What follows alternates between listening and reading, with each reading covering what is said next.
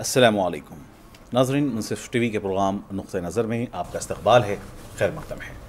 मैं हूँ आपका मेज़बान मोहम्मद हसनामुद्दीन और इस वक्त स्टूडियोज़ में हमारे साथ मौजूद हैं दो हमारे अहम मेहमान, जनाब कोदंडा राम साहब, प्रोफेसर जो तेलंगाना तहरीक के सरगर्म जहदकार रहे हैं, सोशल एक्टिविस्ट हैं और एक और अहम मेहमान इस वक्त हमारे साथ मौजूद हैं, जनाब आदिल मोहम्मद साहब, सोशल एक्टिविस्ट और इस वक्त ये दोनों हमारे स्टूडियोज़ में मुनसिफ टी के मौजूद हैं। मैं दोनों का तह दिल से इस्तेबाल करता हूँ, वेलकम करता हूँ, खैर मकदम करता हूँ। नाजिन प्रोग्राम नुक़ नज़र में, जैसा कि आप जानते हैं, हम गुफ्तु करते हैं अहम इश्यूज़ पर और ख़ास तौर पर उसके पीछे जो छुपी हुई सच्चाई है, हकीकत है, उसको हम आप तक पेश करने की कोशिश करते हैं। हमने इससे पहले भी प्रोग्राम में रोहित विमोला की ख़ुदकुशी मामले पर तफसीली बात की है। आदिल मोहम्मद साहब उस वक्त हमारे साथ थे और सके आपने देखा कि रोहित विमोला की ख़ुदकुशी का जो वाक़ हुआ है हैदराबाद सेंट्रल यूनिवर्सिटी में। इसने सारे हिंदुस्तान के ख़ास तौर पर तलबा को स्टूडेंट्स के तबक़े को झिझोड़ कर रख दिया है। दरअसल ये एक तबखवारियत या एक, एक किस्म का तफ़रक़ा डिस्क्रमिनेशन ये कैफियत हमारी यूनिवर्सिटीज़ के अंदर आखिर क्यों पैदा हो रही है? और वो जो सरकारी वो जो सियासी जमातें जो ये वादे करती हैं कि वो अकलीतों का तहफ़ करेंगी, वो दलितों का तहफ़ करेंगी, उनके उनके मुकाम को बुलंद करेंगी। लेकिन ऐसा महसूस होता है कि यही सियासी जमातें जब इकतदार में आती हैं तो फिर उनका रुख बदल जाता है। यहाँ पर भी ऐसे ही हुआ कि रोहित मुमला के साथ में समझिए कि कस्म की नाइंसाफ़ी हुई है और उसे इस नाइंसाफ़ी की सज़ा के तौर पर, समझिए कि मासूम ने आत्महत्या कर ली। ख़ुदकुशी कर ली। और बहरहाल तफसीत से तो आप वाकिफ़ हैं। हम असल, दरअसल जानना चाहेंगे कि इसके पीछे छुपी हुई सच्चाई क्या है, हकीकत क्या है? और किस तरीके से आने वाले दिनों में मुस्तबिल में, हमारी यूनिवर्सिटीज़ को महफूज बना सकते हैं, हमारे स्टूडेंट्स को, हमारे तलबा को, हमारे जो पढ़ने वाले रिसर्च स्कॉलर्स हैं, जैसा कि रोहित विमोला थे, उनकी ज़िंदगियों को किस तरीके से हम महफूज रख सकते हैं? जनाब प्रोफेसर कुदनाराम साहब, एक बार फिर आपका इस्तेबाल करते हैं। और हम ये बताते चलें कि आज बड़े अफसोस के साथ कहना पड़ता है, हमें कि रोहित विमला का जन्मदिन है। आज थर्टीथ जनवरी हफ़्ता रोहित विमला का जहाँ पर समझिए कि आज उसके घर में खुशी होनी चाहिए थी, आज उसके घर में मातम है, उसकी माँ दवाखाने में शरीक है। और एक बात अहम यह भी है कि प्रोफेसर कोदरनाराम साहब भी उसी हैदराबाद सेंट्रल यूनिवर्सिटी के तालब इल्म रहे हैं। लेकिन क्या ये हालात आज की पैदावार हैं? या फिर हम समझिए कि इस तरीके की चीज़ें पहले से भी हुआ करती हैं? यूनिवर्सिटीज़ के अंदर किस तरीके का माहौल आपने देखा है? क्या कुछ समझिए कि हक़ इस ताल्लुक से कहेंगे? वो यूनिवर्सिटी ऑफ़ हैदराबाद उन्नीस अस्सी के करीब में आए थे। जी। और वो तो एक आप सब लोग जानते हैं सिक्स पॉइंट फार्मूला के बारे में। जब एक जोरदार तेलंगाना तहरीक अलाइदा तेलंगाना के लिए तहरीक चला तो उसके बाद यूनियन गवर्नमेंट ने छः पॉइंट फार्मूला एक ऐलान किए थे। वो छः पॉइंट फार्मूला में हैदराबाद में एक सेंट्रल यूनिवर्सिटी रखने का एक बात भी आया था। जी। तो उसको लेकर के सेंट्रल सेंट्रल गवर्नमेंट यहाँ ये सेंट्रल यूनिवर्सिटी को कायम किए। लेकिन पहले जब ये इसका शुरुआत तो रिसर्च इंस्टीट्यूट्स में हुआ। इसका बिल्डिंग्स बनने से पहले यहाँ अपने आप एक अलग मकाम ले आन देन उनको मिलने से पहले वो रिसर्च इंस्टीट्यूट्स में थे। रिसर्च इंस्टीट्यूट्स में खासकर ज़्यादा डिसिप्लिन की बात होता है और वहाँ फ्रीडम की बात थोड़ा कदर थोड़ा कम होता है जी। तो ऐसे माहौल से उभर कर जब सेंट्रल यूनिवर्सिटी आया तो पहली पहली तो यही माहौल था यूनिवर्सिटी ऑफ़ हैदराबाद में कोई कुछ बात करना नहीं चाहिए अगर हॉस्टल में कोई फैसिलिटीज़ ठीक नहीं है वहाँ जो बनाते हैं पकाते हैं अगर कोई उसमें गलतियाँ हैं तो वो भी बताना नहीं चाहिए। आप पढ़ने के लिए आते हैं तो पढ़ना चाहिए। इसके अलावा और कुछ यहाँ बात नहीं होना चाहिए। ये माहौल था सेंट्रल यूनिवर्सिटी में। जब हम लोग जाने के बाद वहाँ एक यूनियन के बात किए थे तो यूनियन तो कायम हुआ उसके बाद जोरदार लड़ाई के बाद। जी। तो उस उन्हीं दिनों में हम ये सवाल भी उठाए थे। तब तो रिजर्वेशन का अमल भी नहीं होता था। आप जानते हैं जैसे कि मंदिर में गर्भगुड़ी बोलते हैं अंदर की जहाँ मुहूर्त रहते हैं वहाँ किसी को नहीं आने देते। सिर्फ़ वहाँ पूजा करने वाले आके अलावा किसी को नहीं आने देते। हैं तो, तो हम ये बताएँ कि क्या ये गोल्डन त्रिशोल के पीछे ऐसा कोई मंदिर है कि किसी को नहीं आने दे रहे, किसी जात को नहीं आने दे रहे, ये गलत बात है। तो तब हस्सी में हमने एक पर्चा निकाले थे, उसको बांटे थे। बाद में बहुत सारे यूनियन गवर्नमेंट से, पार्लियामेंट से यहाँ कमिटीज आए थे, रिजर्वेशंस की ज़िक्र किए थे टीचिंग पोजीशंस में और ये तलबा के लिए भी ये रिजर्वेशन अमल होना चाहिए। वैसे धीरे धीरे एस बी और कुछ और ऐसे कम्युनिटी से माइनॉरिटी से भी वहाँ स्टूडेंट्स आने लगे। जब ये बच्चे वहाँ पहुँचते हैं उनको सब लोगों के साथ साथ एक बराबर एक अवकात मिलना चाहिए। उनकी तरक्की के लिए वहाँ पूरी सहूलत भी होना चाहिए। खासकर ज़्यादा मदद भी चाहिए, क्योंकि बहुत सारे लोग तेलुगु मीडियम से पढ़कर आते हैं, गरीब खानदान से आते हैं, और ये सारी यहाँ की एलिट एटमॉस्फेयर उनकी कोई पहचान नहीं रहते। तो अपने आप, अपने ज़िंदगी के, अपने एक इज़्ज़त से जीने का वहाँ माहौल चाहिए। पहले तो ये लोग घुट घुट कर वहीं जीने लगे लेकिन बाद में सब के सब अंबेडकर फिलासफ़ी को जुड़कर ये काम करने लगे। ना सिर्फ़ अपने हक के लिए लेकिन वहाँ की माइनॉरिटीज़ के हक के लिए औरतों की हक के लिए सबके हक के लिए वो लड़ने लगे। हम अपने इज़्ज़त से अपने तरीके से यूनिवर्सिटी में काम करने का मौका होना चाहिए। हमारा ख्यालत को यहाँ रखने का मौका होना चाहिए। हम जो बात करते वो सुनने का भी कोशिश कीजिए। हमें अकाल कर हमें दबा कर कुचल कर हमें इस यहाँ हमारा ज़िंदगी ख़त्म करने का कोशिश नहीं होना चाहिए। यही हालत में यूनिवर्सिटी ऑफ़ हैदराबाद में भी एक अंबेडकर स्टूडेंट ऑर्गेनाइजेशन एसोसिएशन वो लोग कायम किए थे। और अंबेडकर स्टूडेंट एसोसिएशन जो लोग अंबेडकर फिलासफी को मानते हैं वो सब लोग उसमें हिस्सेदार हो सकते हैं। तो बहुत सारे लोग उनकी जात जो भी हो लेकिन अंबेडकर फिलासफी मानने वाले सब मिलकर ये ऑर्गेनाइजेशन बनाए। वहाँ के लोग सब मिलकर एक इंसिडेंट हुआ था आप सब लोग तो जानते हैं कि अगस्त के महीने में। अगस्त के महीने में ये अगस्त जुलाई की आखिरी दिनों में हुआ था। ट्वेंटी नाइन्थ ये हम हमारा ये टू नंबर ये डॉक्यूमेंट भी है अगेंस्ट कैपिटल पनिशमेंट जब मोमिन की हुआ था याकूब मेमन। याकूब मेमन का हुआ था फांसी हुआ था तो ये लोग बोले हम उनकी गलतियाँ को हम तो कोई समर्थन नहीं करते हैं लेकिन हम ज़रूर हम ज़रूर ये कैपिटल पनिशमेंट तो नहीं होना चाहिए। तो, तो सारे लोग पूछने लगे तो वो लोग बताए कि कैपिटल पनिशमेंट के खिलाफ अंबेडकर भी था। इसीलिए हम कैपिटल पनिशमेंट के खिलाफ थे। जब कैपिटल पनिशमेंट के खिलाफ जब उन्हें बात किए तो ये हुआ कि वहाँ की एक ए का बच्चा ए से गूंस बोल के ऐसा एक मैसेज भी रखे थे। आप ये देख सकते तो ये मैसेज भी रखे। तो ये मैसेज रखने के बाद कुछ स्टूडेंट्स हाँ हालाँकि आधी रात में उनके रूम तक जाना गलत था लेकिन वो लोग गए थे। उनसे पूछने के लिए उनसे अगर आप हमारे खिलाफ है तो आपकी बयान सादा रखिए। लेकिन हमें एंटी नेशनल हमें गुंडा बोल के बात करना सही तरीके से अंबेडकर स्टूडेंट्स एसोसिएशन एसोसिएशन तो उन्हें उनके जब बात की है तो उन्हें एक अपॉलोजी लेटर दिए थे। जी। तो ये ये ये वहाँ का वहाँ सिक्योरिटी गार्ड्स आए जि, जिसको दोनों को अलग किए। अपॉलोजी लेटर साइन करने के बाद सुशील वहाँ से अपने रूम से जा रूम वापस जाने बगैर उन्हें घर चले गए। उनके भाई आए थे पुलिस भी आए थे। तो उन्हें वो एक दोनों के दरमियान एक छोटा सा एक आर्ग्यूमेंट बोलिए थोड़ा इंग्लिश में हम बोलते हैं स्कफल छोटा सा टजल स्कफल हुआ था। लेकिन उतना गंभीर तो नहीं था वो। उतना गंभीर तो नहीं था। उर्दू में हम उसे बहस कह सकते हैं कि बहस हुआ। बहस जैसा हैदराबाद में होता है गलियों में दोनों के बीच में एक गर्मी गर्म बात बात या गर्म बात बिल्कुल सही होता है।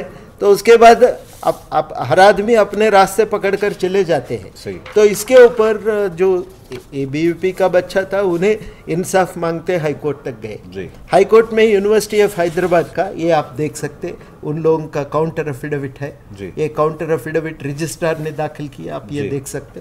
तो ये ऐसे की जानी से दाखिल किया गया।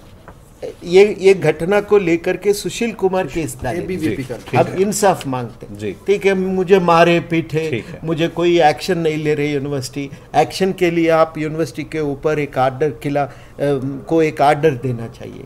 तो हाईकोर्ट ने पूरा बात सुना लेकिन यूनिवर्सिटी से अपने बात रखने का मौका भी दिया जाता है। कोर्ट में तो ऐसे ही होता है। तो यूनिवर्सिटी अपने काउंटर एफिडेविट दाखिल की। जी। उस काउंटर एफिडेविट में ये साफ़ बताए कि सुशील कुमार की बयान गलत था। वो लोग हालाँकि उन्हें ये भी बताया कि वो छो, छो, छोटा मोटा था घटना। इसको इतना बड़ा करके दिखा के आप कोर्ट की मदद मांगने का एक कोशिश हो रहा है। ये सही तरीका नहीं होता है। हम ज़रूर इस बात पर हमारा जो एक्शन लेना है अंदरूनी एक्शन ज़रूर होगा। और लेकिन बस इसको कोर्ट में इतना बड़ा करके दिखना दिखाना सही सही, नहीं- नहीं, होता है। है। तो ये बात रजिस्ट्रार ने बताई थी। मुझे मेरे पास अभी हालात अभी तो नहीं है लेकिन मैं ये भी बताना चाहता हूँ कि पुलिस भी बयान रखे कोर्ट में। साहब इस पर मजीद आपसे गुफ्तु करेंगे कि क्या कुछ वहाँ पर हुआ। लेकिन आदिल साहब आपकी जानी आएँगे जैसा कि आपने कहा कि क्या हमें खाना है क्या पकान क्या वहाँ पर पकवान हो रहा है? जैसा कि आपने कहा कि जब एटीज़ से यूनिवर्सिटी की शुरुआत हुई तो उस पर भी पाबंदी थी कि आपको इस ये बात पूछने का खास स्किल नहीं है कि क्या पकाया जा रहा है क्या आपको दिया जा रहा है। वहाँ से लेकर कैपिटल पनिशमेंट तक की जो बात आई है कि आपको इस पर भी अख्तियार नहीं है कि आप कैपिटल पनिशमेंट पर आप कोई आवाज़ उठाएँ। जबकि स्टूडेंट्स की आवाज़, तलबा की आवाज़, मुल्क की सबसे बड़ी आवाज़ मानी जाती है। लेकिन इसको जो दबाने की कोशिश की जा रही है, किस तरीके से इसको ख़त्म किया जा सकता है? ज़िम्मेदार इसके कौन हैं? देखिए, इसके ज़िम्मेदार वही लोग हैं जो इस चीज़ को लागू करते हैं। ये उसी, उसके ज़िम्मेदार वही लोग हैं। सच तो ये है कि इंस्टीट्यूशंस चाहे वो सेंट्रल यूनिवर्सिटी हो या कोई इंस्टीट्यूशन हो ये सब हमारे कानून के दायरे में आते हैं। जी। जो हकूक़ हमारा कानून देता है हमारा कॉन्स्टिट्यूशन देता है उन हकूक़ के बारे में उन हकूक़ के बारे में किसी यूनिवर्सिटी को या किसी बाशिंदे को या किसी यूनिवर्सिटी के वाइस चांसलर को ये कहना और उस पर पाबंदी लगाना ये बाज़ात ख़ुद एक जो है वायलेशन ऑफ़ कॉन्स्टिट्यूशन है। बिल्कुल। ये बिल्कुल गलत बात है। जैसे कोदंड राम साहब ने बहुत ही विस्तार से सारे सीक्वेंस को उन्होंने एक्सप्लेन करने की कोशिश की। यहाँ पर कानून सर्वोपरि होता है। बिल्कुल। सबसे ऊपर कानून होता है कॉन्स्टिट्यूशन होता है। कोर्ट का भी जजमेंट आया कि वो वो जो सारी बातें ए ने जो के लड़के ने जो की थी वो बिल्कुल बनघड़त थी और एक इंस्टिगेटिव तरीके से एक अलग किस्म की सोच को चलाने की कोशिश जो होती है उसी को दर्शाता है। लेकिन ये कहना कि यूनिवर्सिटी में जो लड़के रहते हैं उन लोगों को एक ख़ास किस्म के दायरे में बाँध कर उनको रखना चाहिए और उसमें ख़ास किस्म का दायरा में भी दो किस्म के दायरे हों। एक दायरा वो हो जो यूनिवर्सिटी चाहती है कि उन लोगों के लिए एक दायरा हो और दूसरा उन लोगों के लिए जो जिस कम्युनिटी से या जिस सेक्शन ऑफ़ सोसाइटी से रोहित वेमुला और उनके साथी जैसे अंबेडकर की बात हो रही है। अंबेडकर कौन है? कॉन्स्टिट्यूशन के ऑथर हैं। Was the convener he was he वो तो वो तो अंबेडकर जी के बारे में और अंबेडकर जी के सवालात को जो जो हमारे देश की मे- मीडियम मेन स्ट्रीम में आती हैं, उन पर अगर निशाने लगाए जाएँ तो हम पूरे कॉन्स्टिट्यूशन पे निशान लगा रहे हैं। ये बहुत ही सीरियस मैटर है और मैं समझता हूँ कि ये जो हुआ है उसमें कई लेयर्स हैं। एक लेयर नहीं है। एक लेयर तो ये नज़र आता है कि रोहित वेमुला का इन बिल्कुल ही ऑब्जेक्शनेबल सर्कमस्टेंसेस में ऐसा ये कहा जा सकता है कि वेमु वे, रोहित वेमुला ने सुसाइड नहीं किया। उसको इस तरीके से ढकेला गया। उनको कॉर्नर किया गया। उनके उनकी ऑर्गेनाइजेशन जो सपोर्ट थी उसको कॉर्नर किया गया। एक सोच को अंबेडकर की सोच को पूरा ढकेल कर कुरेद कर उसको कोना कर किया गया। वो उनको सुसाइड नहीं करना पड़ा। उनकी उनके कत्ल हुआ ऐसा मैं समझता हूँ। बिल्कुल सही कहा आपने कि जहाँ पर समझिए कि ज़बरदस्ती किसी की आवाज़ को दबाने की कोशिश की गई और फिर बहरहाल उस मासूम ने अपनी जान देकर बहरहाल ये साबित किया है और समझिए कि उसने एक सारे मुल्क को झंझोड़ा है। उसकी इस शहादत पर बहरहाल सारे स्टूडेंट्स को भी मैं समझता हूँ कि नाज है हालाँकि वो एक खुदकुशी का मामला है लेकिन बहरहाल ये एक कत्ल के मुतरदफ है कि जिस तरीके से उनके साथ उनकी एसोसिएशन के साथ उनकी समझिए कि मुतालबात के साथ नाइंसाफ़ी हुई। नाजरन एक अहम मौजू पर हम गुफ्तु कर रहे हैं। प्रोग्राम का सिलसिला जारी रहेगा। वक्त तो चला है एक मुख्तर वक्फे का लौटते हैं ब्रेक के बाद।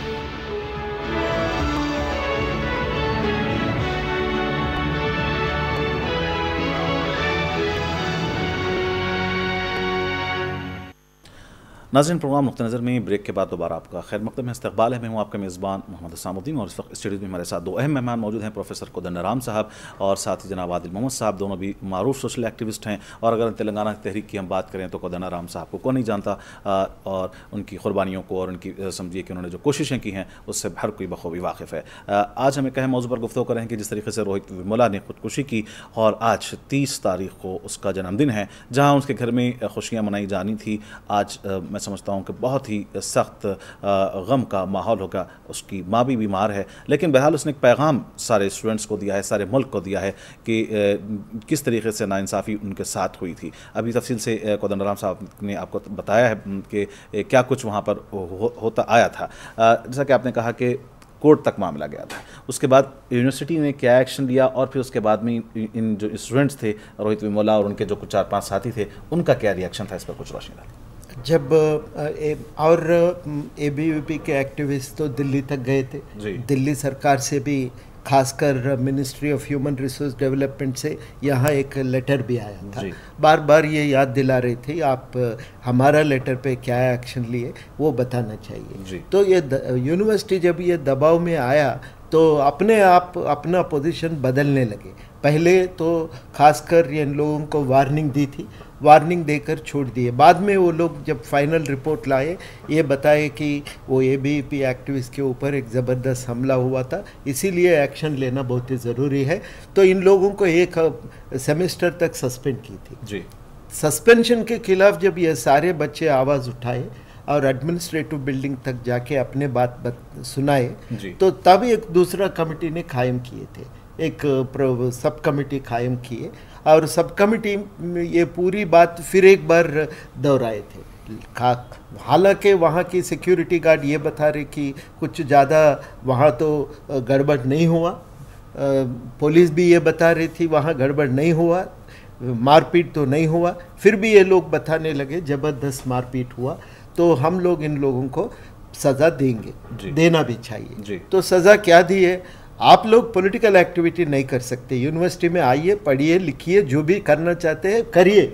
लेकिन आप पॉलिटिकल एक्टिविटी नहीं कर सकते। तो ये लोग ये बताए थे इन लोगों का तो ज़िंदगी इज़्ज़त से अगर जीना है तो पॉलिटिकल एक्टिविटी ज़रूरी है। वो बुनियाद है उन लोगों की ज़िंदगी के लिए। तो वो बुनियाद को जब आप निकल देते हैं वो कैसा जी सकते हैं यूनिवर्सिटी में? ये बात सवाल उठता है। जब ये पनिशमेंट दिया उसके दो दिन के बाद रोहित वेमला ने हमारा ये पेज नंबर वन में हम बताए कि उन्हें एक लेटर लिखी। ये लेटर में उन्हें साफ़ बताए।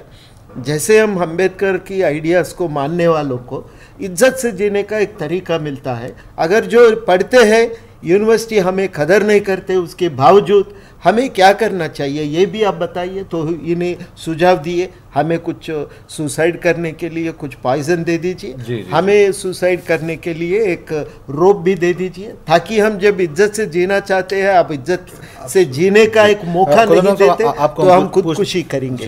उन्होंने ये लेटर दिया है कि अगर उनके मुतालबात को कबूल नहीं किया गया जिस तरीके से उनको समझिए कि बेरहमी के साथ यूनिवर्सिटी से ही सस्पेंड किया गया अगर वापस नहीं लिया जाए तो उन्होंने कहा कि आप हमें पॉइजन दीजिए या रोप दीजिए हम उससे खुदकुशी करना चाहते हैं ये उन्होंने पहले से ही समझिए यूनिवर्सिटी को बता दिया था। और जहाँ तक पॉलिटिकल और सियासत की इसमें बात आई कि सियासत से बच्चों को रोका गया लेकिन हम्म। यही आप अभी आपने कहा कि ये सियासत तो दहली तक गई और फिर जिस तरीके से एबीवीपी के लोगों ने अपनी सियासी पार्टियों को और फिर जो इस वक्त मिनिस्ट्री को इस्तेमाल किया और ये भी कहा जा रहा है कि जो हमारे मरकज़ के मिनिस्टर हैं दत्तत्रिया साहब उन्होंने एक लेटर यहाँ से लिखा स्मृति ईरानी को और साहबा को उन्होंने वहाँ से यूनिवर्सिटी के वाइस चांसलर को फिर समझिए कि कहा कि इस बच्चों को सस्पेंड किया जाए तो ये भी बहरहाल सियासत आखिर आखिर ये भी तो सियासत है। सियासत जब लोग लेटर लिखते हैं वो लोगों का काम है अपने बच्चों के लिए उन्हें ज़रूर कुछ कुछ ना कुछ कदम उठाने का कोशिश करते हैं। लेकिन यूनिवर्सिटी वाइस चांसलर का जिम्मेदार रहते उन्हें जिम्मेदार है। यूनिवर्सिटी की अटानमी को कायम रखना चाहिए। यूनिवर्सिटी एक ऐसा इंस्टीट्यूट है जहाँ कोई बाहर की इंटरवेंशन को रोकना ही वाइस चांसलर की ज़िम्मेदारी है। उन्हें जब ऐसा एक गड़बड़ एक मामला उनके सामने आए तो उन्हें जस्टिस खास करके यूनिवर्सिटी में जब एक्शन लेते हैं वो पुलिस जो एक्शन लेते उससे थोड़ा हटकर रहते यूनिवर्सिटी में खासकर डिसिप्लिन रखना ही ज़िम्मेदारी नहीं है। वहाँ की फ्रीडम कायम रखना अपने आप, आप हर बात रखने का एक माहौल बना के रखना उनका ज़िम्मेदारी रहता। लेकिन वो ज़िम्मेदारी को भूल कर यूनिवर्सिटी ने अपने एक्शन ली थी। वो मेरे ख्याल में बहुत ही बड़ा गलत था। उसी के वजह से बच्चों को ये माहौल ये लगा कि आप आपका आप, अपनी इज़्ज़त पर एक धब्बा लगा बिल्कुल बिल्कुल। मैं समझता हूँ कि कहीं ना कहीं उनकी जो समझिए कि उनके नफ्स को एक ठेस पहुँची ज़बरदस्त तरीके से जिसकी वजह से उनको इस तरीके के अल्फाज लिखना पड़ा। आ, मैं बताता हूँ आपको कि please serve ten M of sodium azide to all the Dalit students at the time of admission with diet to use when they feel feel like reading the Ambedkar. direction with direction to use when they feel like reading Ambedkar. ये अल्फाज बताते हैं कि किस तरीके से उनके नफ्स को ठेस पहुँची और दलित के साथ अखिलियतों के साथ जिस तरीके का वहाँ पर समझिए कि बर्ताव किया गया। एक और बात भी ये भी आप सुनाइए। यूथनेसिया का बात रख बता रहे जी। I request your highness to make preparation for facility euthanasia for students like me and I wish you group killing ji group killing and I wish you and the campus rest in peace forever ये आखिरी अल्फाज हैं रोहित विमोला के thanking you you are sincerely V R Chakravarthy. Vemula Rohith Chakravarthy इसका पूरा नाम है इस लड़के का। इसने ये बात महीना पहले। मरने से एक महीना पहले। एक महीना पहले। इस ये ये समझिए इसके बाद उसने फिर सुसाइड नोट लिखा। तो लेकिन इन तमाम मामले में बहरहाल यूनिवर्सिटी में जैसा कि आपने कहा कि वाइस आपके वाइस चांसलर की ज़िम्मेदारी थी और उन्होंने मैं समझता हूँ कि कोई अहम एक्शन नहीं लेने की वजह से इस मासूम लड़के को इस इस रिसर्च स्कॉलर को बहरहाल खुदकुशी करने पर मजबूर होना पड़ा।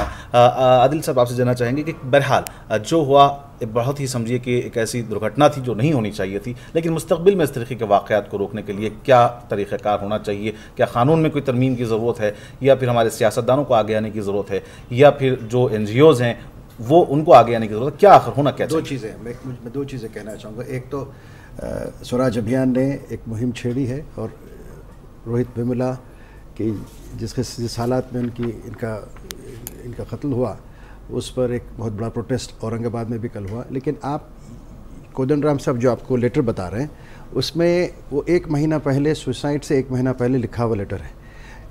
ये यूनिवर्सिटी और हमारे जो इंस्टीट्यूशंस हैं ये एक यूनिवर्सिटी का वाक़ नहीं है। कई यूनिवर्सिटीज़ में इस किस्म के वाक़ात आज होते हैं। स्मृति ईरानी हो या बंगारू दत्तात्रेय हो या अप्पा जी वाइस चांसलर ऐसे वाइस चांसलर ऐसे मिनिस्टर्स कई जगह पर हैं और दलितों के साथ और पिछड़ों के साथ और जो लोग अंबेडकर जी की बात को उठाते हैं उनके बताए हुए रास्ते पर चलने की कोशिश करते हैं उनके साथ रुकावटें आती हैं। तो ये अगर नोट पर सीरियसली लिया जाता तो आप समझ सकते हैं कि यकीन से रोहित वेमुला आज ज़िंदा होते हैं। जी।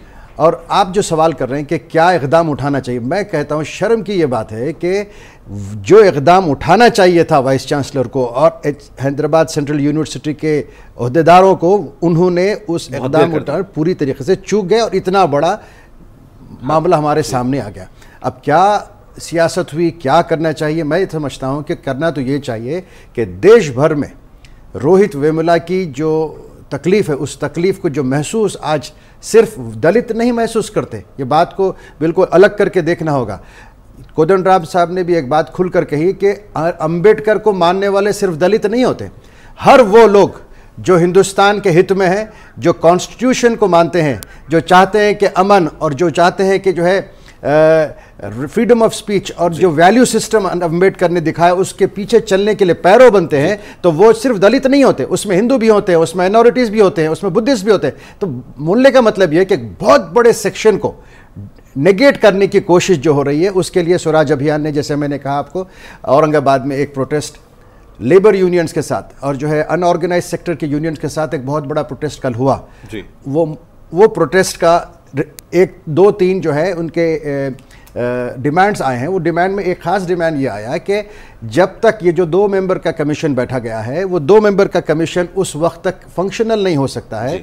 जब तक स्मृति ईरानी वाइस चांसलर और बंगारू दत्तात्रेया जो बड़े मानों में इस चीज़ के जिम्मेदार हैं एक्यूज हैं और केसेस भी बुक हुए हैं ये लोग अपनी सीटों को नहीं छोड़ते। ये सीटों को नहीं छोड़ते ये ये कमीशन कुछ काम नहीं कर सकता एक बात। दूसरी बात वो अपील हमने भी की है सबसे कि जो पैसा आठ लाख रुपया दिया गया था मिनिस्ट्री के तरफ़ से- या हैदराबाद सेंट्रल यूनिवर्सिटी की तरफ़ से बिल्कुल सही तरीके से वो इतनी स्ट्रांग लेडी है माँ रोहित वेमुला की उन्होंने उसको धितकार दिया। लेकिन धित्कार देने से उनके मसले तो हल नहीं हुए। उनके मसले आ- आ- अपनी जगह हैं तो हम अपील अपील करते हैं हाँ, कि प्रोग्राम कि उनका उनकी मदद समाज समाज करे उनको सपोर्ट करे। बिल्कुल हम आपकी बात से सहमत हैं कि उनकी उनकी फैमिली की मदद की जाए कंपनसेशन उन्हें दिया जाए और एक उनके फैमिली मेंबर को गवर्नमेंट जॉब दी जाए। ये सब चीज़ें तो बहरहाल होती रहेंगी। वक्त बहुत कम है। हम प्रोफेसर कोदराम जी आपसे चाहेंगे कि सिर्फ़ एक मिनट के अंदर क्या पैगाम आप रोहित की माँ को स्टूडेंट्स को और और समझिए कि हिंदुस्तान के शहरियों को देना चाहेंगे मैं चंद अल्फाजों में ये आखिरी बात आपको बताना चाहता हूँ। जब उनको इंसाफ नहीं मिला रोहित वेमला ने आपने आखिरी खत लिखा नोट ये इसमें ये लिखता है आदमी को हम आदमी जैसा इंसान को इंसानी जैसा देखते नहीं। The value of man was reduce to his immediate identity nearest possibility to a vote to a number to a thing never was a man treated as a mind तो ये उनको इतना कितना धक्का लगा इससे हम ज़ाहिर है उन्हें अपने आप सोचने लगे कि my birth is my fatal accident I can never recover from my childhood loneliness so इतना वो गंभीर बात उन्हें रखे। मैं एक टीचर के हैसियत से ये बात बताना चाहता हूँ कि जब अप, हमारा बच्चों को अपने ख्यालात को रखने का एक मौका मिलना चाहिए। जब ख्यालों को दबाते हैं अपनी ज़िंदगी खो जाते तो ऐसे एक माहौल में रोहित का ये हुआ। टीचर के नाते मुझे बहुत दुख होता है कि किसी एक बच्चे को अपने ख्यालात रखने का मौका यूनिवर्सिटी में नहीं मिलता। ये मेरे ख्याल में बहुत ही गंभीर मामला है। यूनिवर्सिटी सोचने चाहिए ऐसे गलत तरीके अपनाना सही नहीं होता। इसको कहीं ना कहीं रुक रोकना चाहिए। कहीं ना कहीं यूनिवर्सिटीज़ की फ्रीडम को अपने अटानमी को कायम रखने के लिए कुछ ज़बरदस्त मेजर्स लेना बहुत ही ज़रूरी बिल्कुल सही कहा आपने कि अहम मेजर्स लेने की ज़रूरत है, खासतौर पर इस तरीके के वाक़ात को रोकने के लिए। और सबसे अहम बात जो बुनियादी तौर पर अभी आपने रोहित के ख़त से पढ़कर बताई, वो ये है कि इंसान को इंसान समझने की ज़रूरत है। और मैं समझता हूँ यही आज के हमारे इस प्रोग्राम का एक वो हो सकता है, पैगाम हो सकता है कि इंसान को इंसान बुनियादी तौर पर समझा जाए और उसके हकूक़ की तलफी ना हो, सबको जीने का बराबर हक दिया जाए। बहरहाल, आखिर में एक मरतबा हम प्रोफेसर खुदा राम साहब के आदिल मोहम्मद साहब के बहुत बहुत मशहूर हैं कि प्रोग्राम में आप लोगों ने अपना वक्त, कीमती वक्त निकाल। कर तशरीफ़ लाई और अपने ज़रिए ख्याल से हमारे नाजीन को मुस्तफ़ किया। इन आइंदा भी आप लोगों से मुलाकात होती रहेगी। नाजीन फ़िलहाल अपने मेज़बान मोहम्मद सामुद्दीन को पूरी उनसे टीम के साथ दें इजाज़त, देखते रहें मुनसिफ टी वी खुदा हाफिज़।